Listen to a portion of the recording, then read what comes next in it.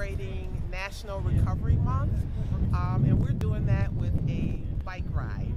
So September is the month that has been designated to uh, celebrate and highlight individuals in recovery. So I represent Black Girls Do Bike Rochester. I am the leader of the group. I started it in 2016. I am one of about 85 chapters in the organization. So we encourage women to ride bikes um, with a special emphasis and focus on black and brown women. But we're an inclusive group and we welcome all women.